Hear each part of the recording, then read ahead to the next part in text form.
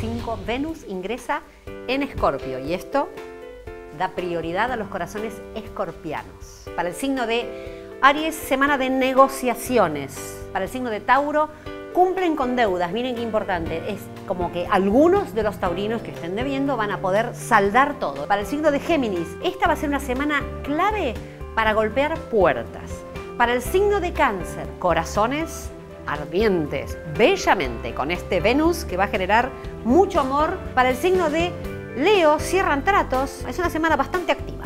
Para el signo de Virgo, parejas que se van a sentir de nuevo en plenitud. Para el signo de Libra, algunos roces en el trabajo, dejar pasar, no generar discordia.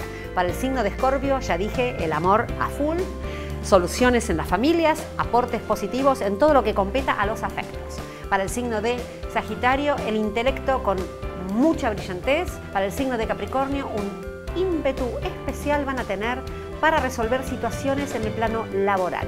Para el signo de Acuario, plenos. Los acuarianos, semana de resultados. Para el signo de Pisces, corazón, mucho amor, planteos y replanteos. Buena expectación planetaria. Ahora depende de ustedes.